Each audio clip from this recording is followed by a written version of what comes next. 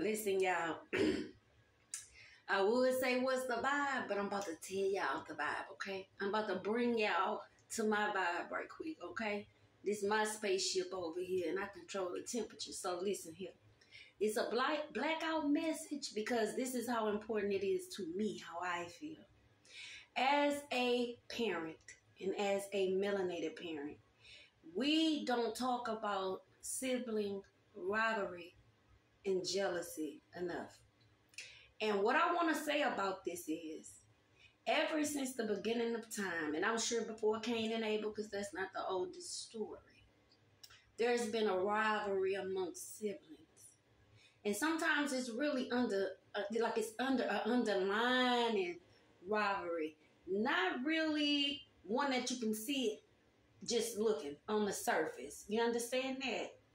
That type of rivalry, it develops as those kids get older. So this is what I want to say, guys. As a parent, it is very important to you to make sure that your kids know their role in the family, but also know their individuality and to be praised and honored and appreciated and noticed and recognized for what it is that they do that's special. And you are the person who control that when they little. You can see when kids have animosity amongst each other. You can see when one child feel like another child being favored. They'll say it. They'll say it. Oh, well, that's their favorite child right there. Those things like that is people soul crying out for you to pay attention. And we miss the mark so much.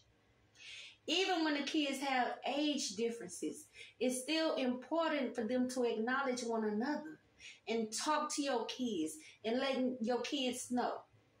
So I'm a, I'm gonna just say this for an example. Suppose you have a kid that's a lawyer, right? And you have another child that work for UPS, right? They ain't go to college. Now, college may have been, school may have been destined for the one that's a lawyer. That was his path, okay? But it doesn't mean that he's any better than the child that worked for UPS. Or that he make more money. Or their level of intelligence. See, everybody got their own path. That might not be his path. And then later on in life, the reason he wasn't a lawyer unfolds. You know, you understand what I'm saying? He may have met somebody at that law office that turned him to the crooked side, and then he end up in the in the pen. We don't know that. So to make a difference between your kids based on things like that creates sometimes problems that can't be fixed. Do y'all understand where I'm going with this? If you have a child that's fine, a daughter, and another child that's not so fine, Okay?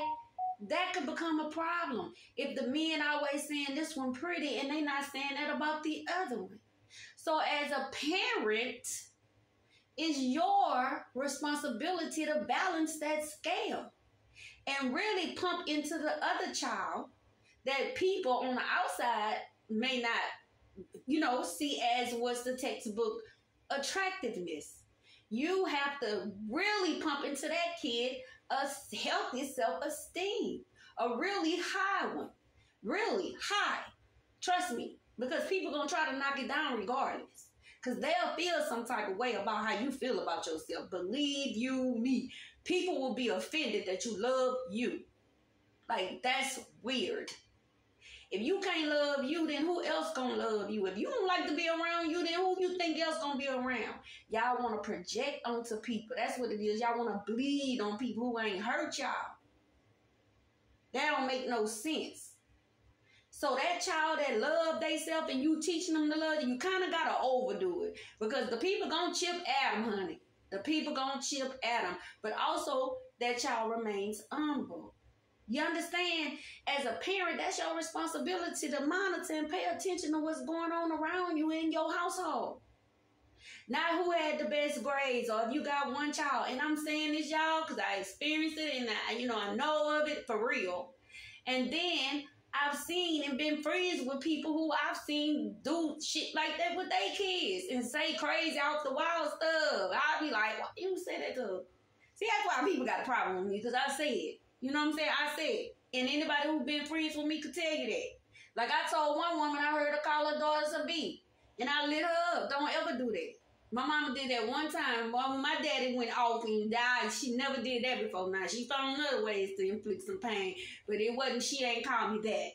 My daddy wasn't going for that. Okay.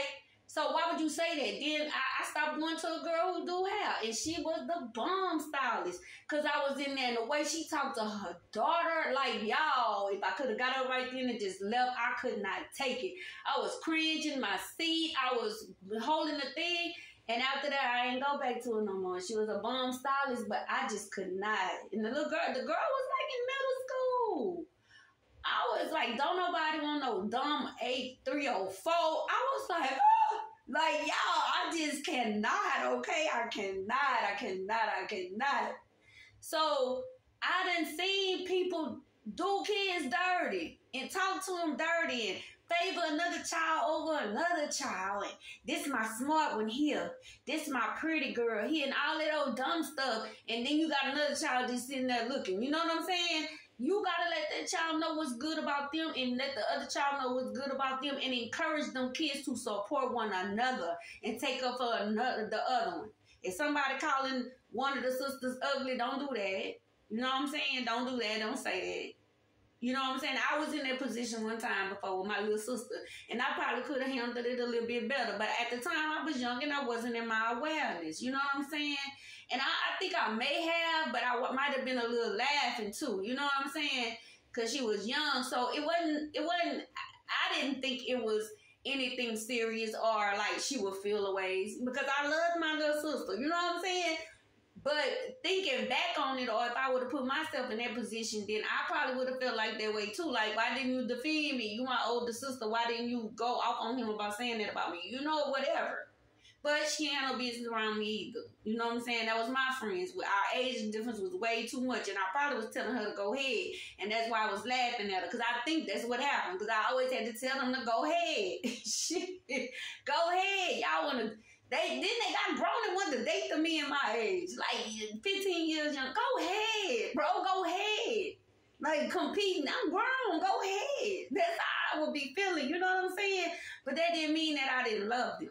So what I'm saying to you is, when you are the parent and you see this going on in your household, pay more attention to it. Like you need to be aware. If you got sons and you got one that's always getting the girls and one that can't get a girl, if you sit on his lap, you gotta fill in the gaps with the emotional um you know their emotions and coping mechanisms and and teaching and, and encouraging and that you that's what parents do y'all Nobody give you no guideline for no blueprint. You just gotta live through some things and then look back on it and think of ways that you could have did it better and then share that with people. Not saying you sharing like, oh, you perfect, you ain't do nothing wrong. No, that mean I did a whole bunch of stuff wrong and I'm sharing with you not to do.